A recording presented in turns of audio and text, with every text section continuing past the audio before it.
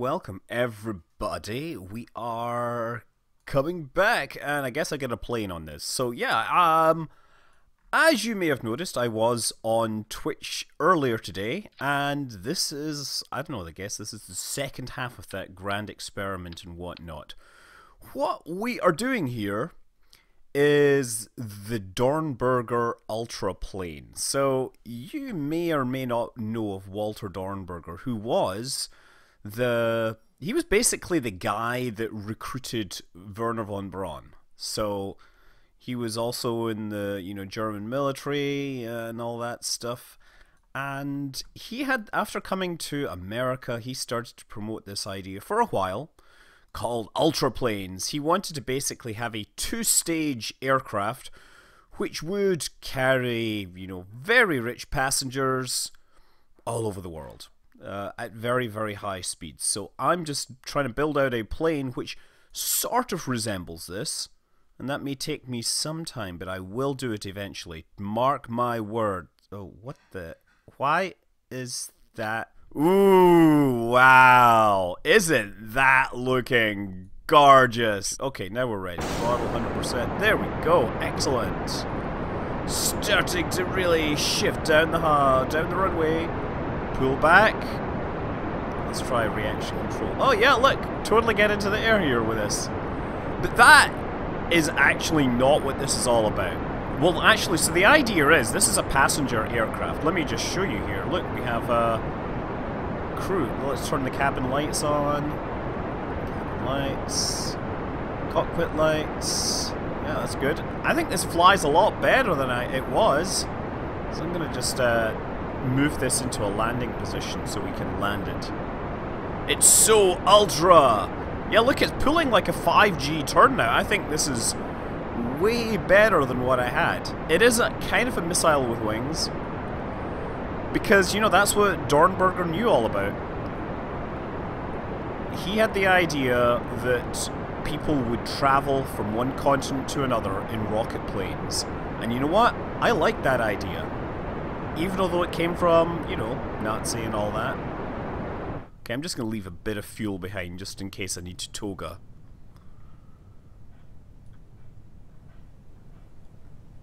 Well, here's the thing, right? This is not the main thing.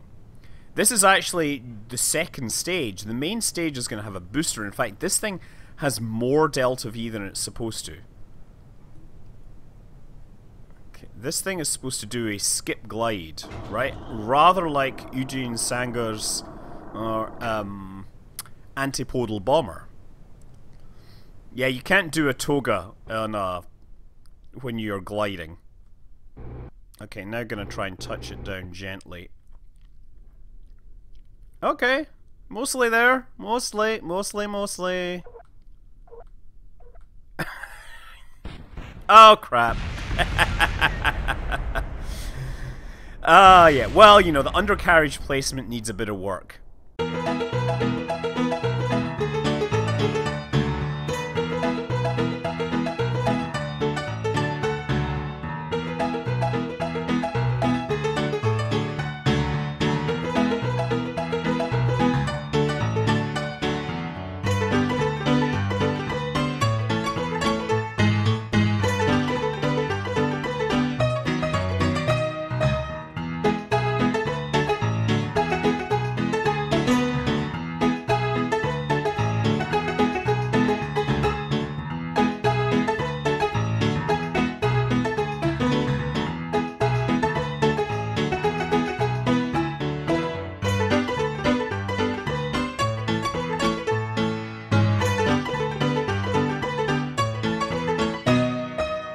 I think we're ready to give this a go. I'm going to just try taking off from the runway.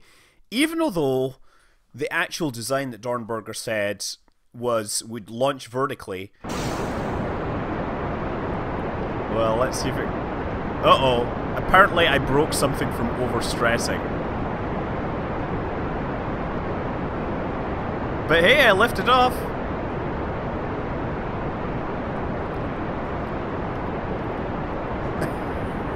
I like this. I, in fact, I am going to actually overstress the vehicle at this rate. This is what happens when you have 2 Gs of acceleration. And this thing has way more fuel than we actually need. So let's actually wait until the apoapse is up around like 30, right? So that will be the, the rule where we define that we want to perform a turnaround.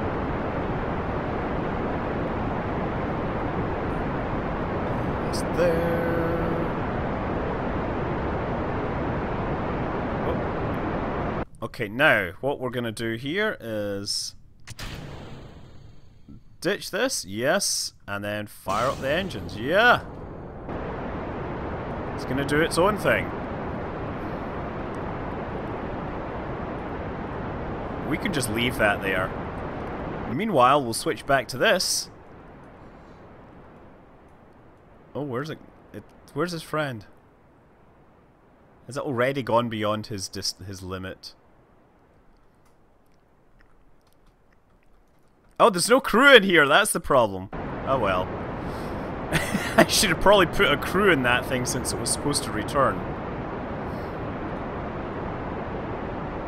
Boy, that is a darn pretty looking screenshot, if I do say so myself. Let's let's hide the uh, vessel and hide it, hide it quickly. Hide.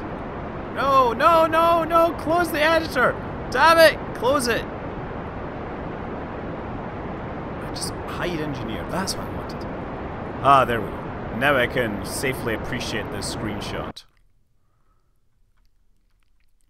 So, vertical state. Oh, the apoapse is only 100 kilometers. That's pretty good. Yeah, we have uh, reaction control thrusters and everything on this. I think this is pretty good for like a, a you know, Dornberger style, you know, what you call it, travel thing. You think this is the most expensive lawn dart? I think this is going to fly really nicely.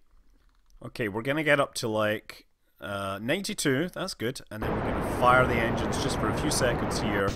Push us a little further. Okay, I like... What's it look like? Oh, what's that beep? Tetragon. Can we push buttons here? Oh, I don't think I've turned this on. No, I probably need to install... Oh! We get something there. I think I need to install stuff. Oh, wait. That's what I got to do. Ah, there. Flight controls left.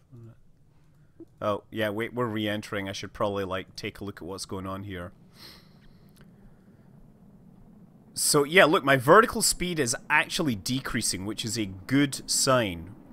We want our vertical speed to decrease and then for this thing to bring us back out of the atmosphere, at least temporarily, so we can actually get a little further.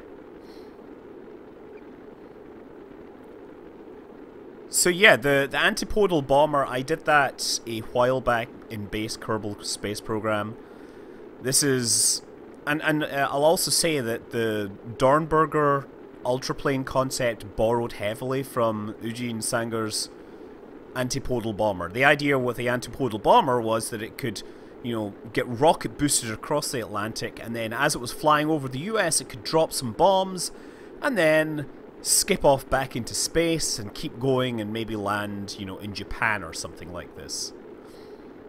Okay, we're gonna skip back into space here. Well, maybe not back into space, but we're certainly gonna get some altitude on this. Nose coming up. The drink is not your father's ginger ale. The outer control surfaces are not doing anything. These are for roll control only. That's why they are not doing anything right now.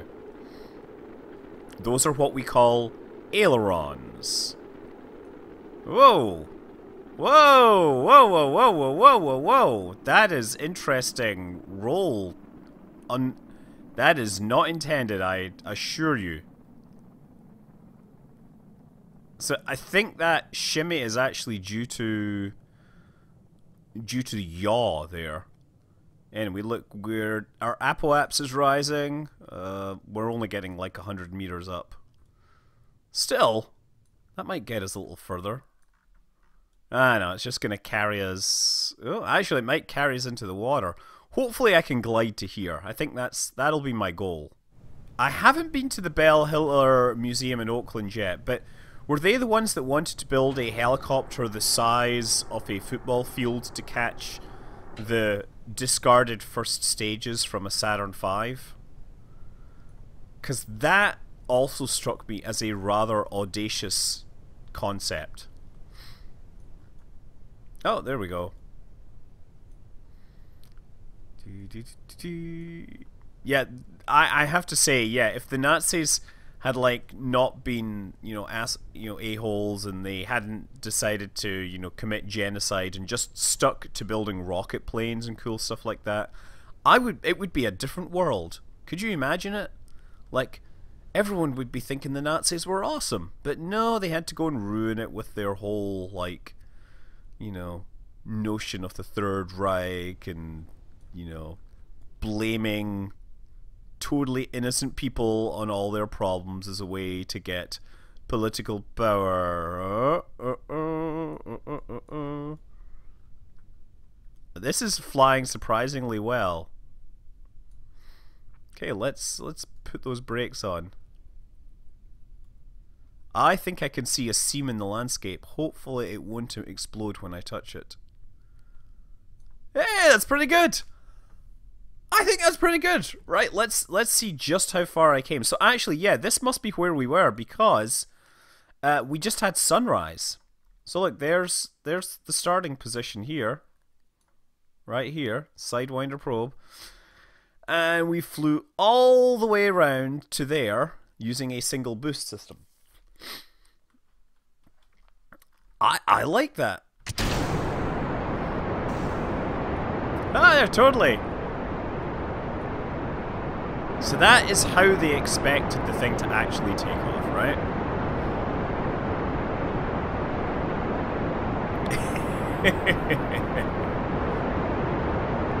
okay, once it gets up to 70, that's when we uh, cut the power. Okay. Ooh, this is hot! Hot, hot, hot, hot, hot, hot, hot. Okay, next thing and next thing we're going to do is detach this at the appropriate moment. And actually, I should just, just F5 this here, right? So now, stage, and... Oh, there we go. Bring that up.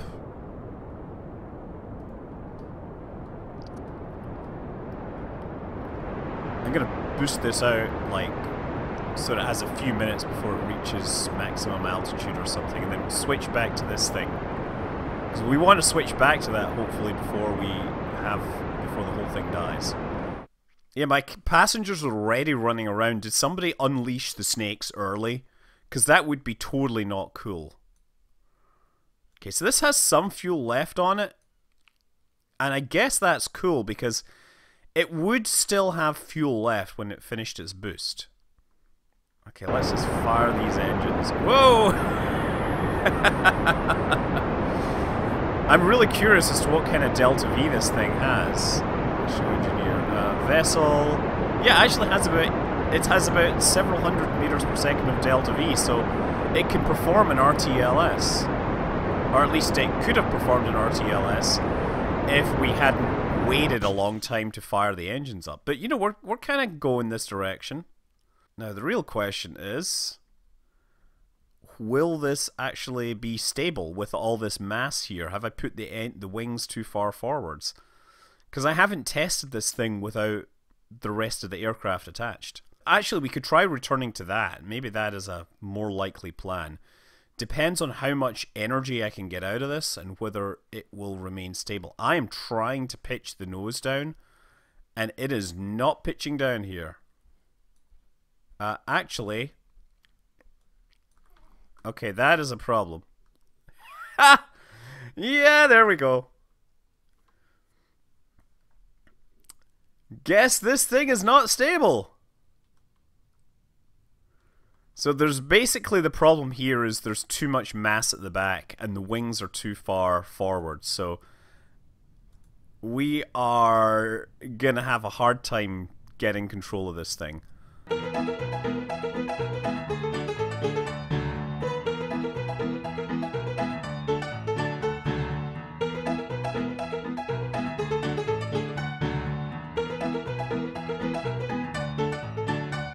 Still, I'm gonna say there's a not inconsiderable chance that this thing.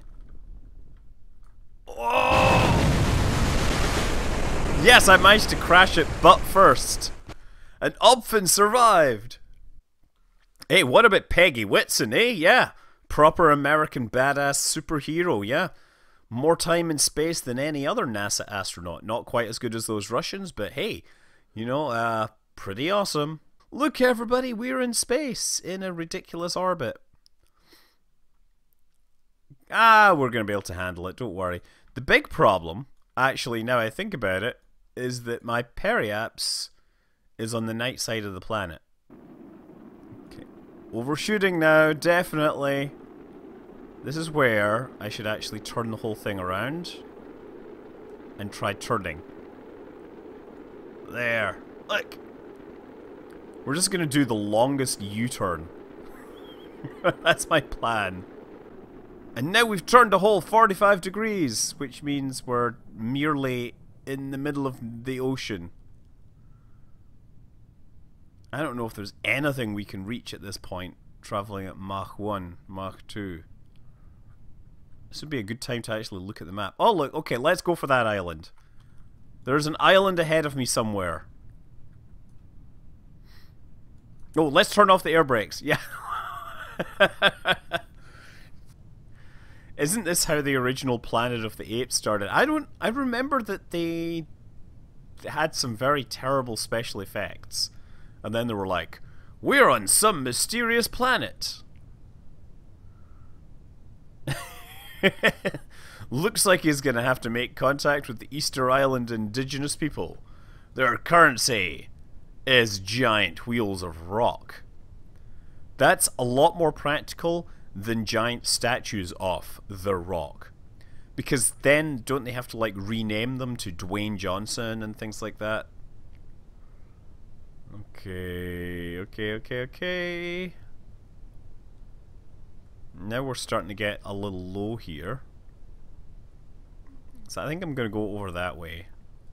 Because that actually looks like somewhere I might be able to land on that slope. That looks like a hill that I'm heading towards.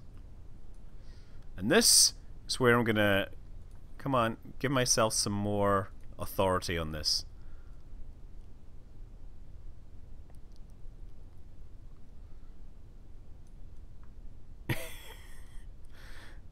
yeah, the Easter Bunny Island, on the other hand, their currency is basically little plastic eggs containing candy. Okay, so any minute now I'm just going to turn this thing upstream.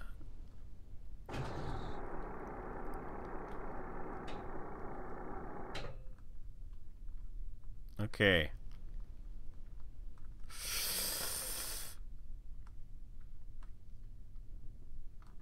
Okay, now the hard part is slowing this down without crashing.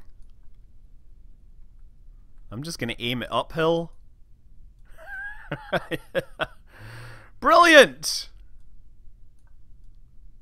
I thought that I was surely doomed there because there was no way I could land on this horrible terrain.